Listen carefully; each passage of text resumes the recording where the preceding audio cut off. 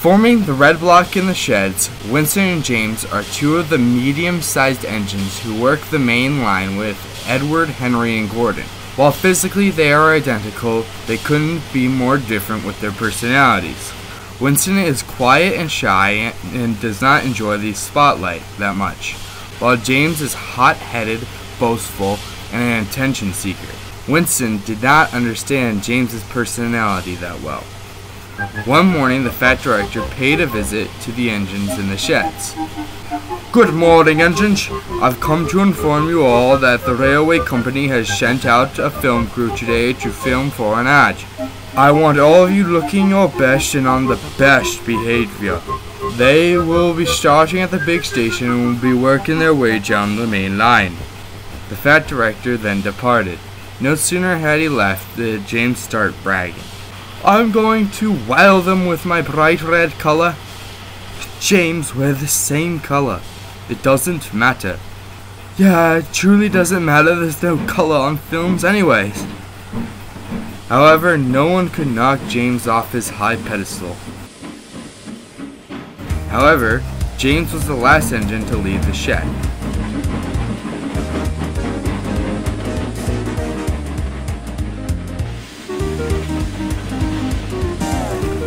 By the time he arrived at the station, the film crew was nowhere to be found. James cursed under his breath as he left with his goods train.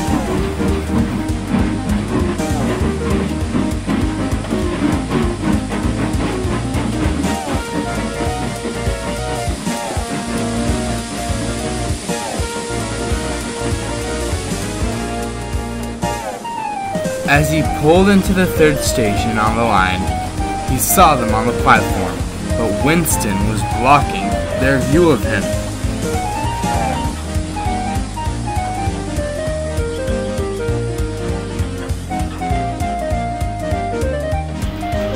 Winston, get out of here, let me get into the shot. I'm not going to abandon the turntable so you can get some screen time. Oh, what a great brother you are. Oh, you pompous jerk, you just need to relax and stop being such an ass about it. You're gonna make a fool of yourself. Says you, I'm gonna do just fine, they're gonna love me. Unfortunately for James, he left before Winston, so he missed his opportunity for now.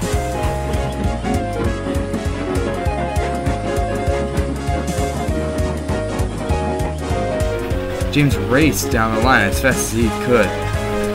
He wanted to be with coaches when the film crew saw him next.